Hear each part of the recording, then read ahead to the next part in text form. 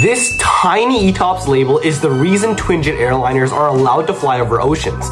But why does this exist? ETOPS stands for Extended Range Twin Engine Operations Performance Standards, and it's a crucial safety certificate that nearly all modern twinjet airliners have. You see, back in the 1930s, piston engines were not that great and frequently broke down. So the FAA created this requirement that twin engine aircrafts can't fly over 60 minutes from a diversion airport. This rule pretty much sucks because pilots had to make special flight plans with multiple stops, and direct flights pretty much weren't a thing. In the 1980s, jet engines had much stronger reliability, so the ICAO, or the the International Civil Aviation Organization established ETOPS, which now allows twin jets to fly within 120 to 180 minutes from a diversion airport. This gives airlines the best route flexibility, but this certification is not easy to get. Twin engine planes have to go through rigorous testing and uphold a strong operational history to even qualify for this rating. So the next time you fly over the ocean, take a moment to appreciate this small but monumental moment in aviation history.